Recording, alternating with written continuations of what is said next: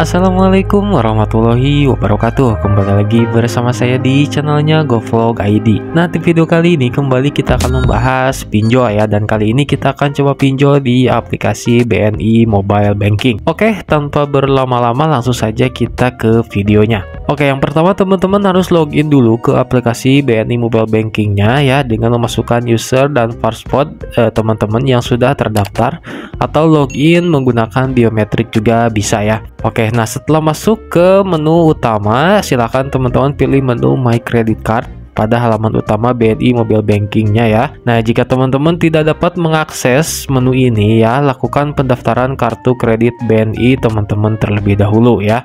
Nah, kemudian melalui menu My Credit Card ini ya, teman-teman juga bisa melihat detail transaksi kartu kredit BNI teman-teman semua ya. Nah, kemudian untuk pengajuan fitur dana tunai kartu kredit BNI, silakan teman-teman pilih uh, menu dana tunai ya. Nah, kemudian untuk selanjutnya pilih nomor kartu kredit yang akan digunakan sebagai sumber dana pengajuan ya. Klik info untuk informasi mekanisme programnya ya. Nah, kemudian untuk selanjutnya tentukan nominal dana yang akan ditransfer dan pilih periode cicilan. Nah, untuk besarnya cicilan per bulan termasuk bunga ya akan mengikuti periode yang dipilih. Kemudian masukkan detail rekening tujuan transfer pada menu input baru. Nah, kemudian untuk rekening penerima dananya ya atau tujuan transfernya bisa disimpan ke daftar favorit. Kemudian untuk selanjutnya cek box syarat dan ketentuan, lalu klik selanjutnya. Nah untuk selanjutnya silakan teman-teman periksa kembali pengajuan lalu input password transaksi BNI mobile bankingnya ya. Kemudian e, sebagai autentifikasi pengajuan dari teman-teman semua.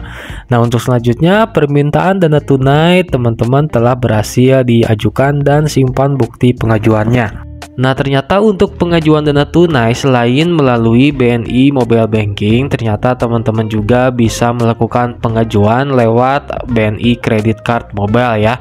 Ya, dengan cara seperti ini ya. Silahkan teman-teman pilih dulu menu dana tunai pada halaman utama BNI Credit Card Mobile-nya ya. Nah, kemudian teman-teman pilih nomor kartu kredit yang akan digunakan sebagai sumber dana pengajuan. Kemudian klik info untuk informasi mekanisme programnya. Nah untuk selanjutnya tentukan nominal dana yang akan ditransfer Nah untuk maksimal dana yang dapat dicairkan adalah sebesar limit dana tunai yang diberikan dari pihak bank ya Atau BNI Credit Card mobilenya Nah kemudian pilih periode cicilan Nah, kemudian besarnya cicilan per bulan termasuk dengan bunga ya akan mengikuti periode yang dipilih oleh teman-teman semua.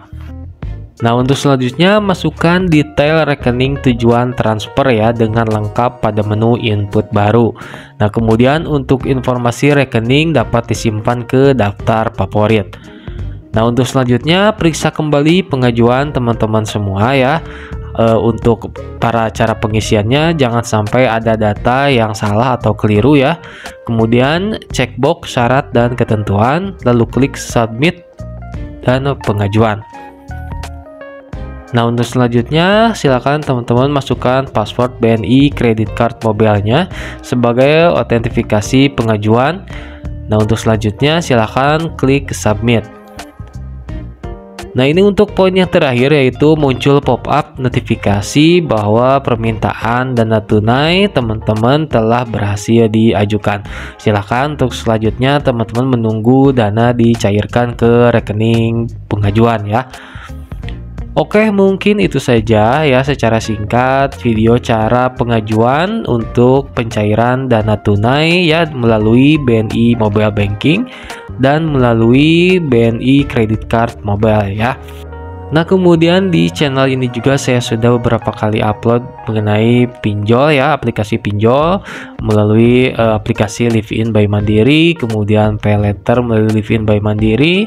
Kemudian saya juga sudah membahas mengenai Shopee Pay Letter kemudian cara pinjam uang di aplikasi Gojek juga kemudian cara pinjol di Facebook juga pokoknya uh, lengkap ya dan untuk linknya saya sudah simpan di deskripsi dan cara membersihkan nih KTP di BI Checking atau Slik OJK sudah saya simpan juga untuk linknya di deskripsi silahkan teman-teman klik saja untuk videonya Oke, mungkin itu saja video kali ini. Semoga video ini bermanfaat untuk teman-teman semua. Dukung channel ini dengan cara subscribe, like, dan share video ini di media sosial teman-teman semua. Oke, terima kasih. Wassalamualaikum warahmatullahi wabarakatuh.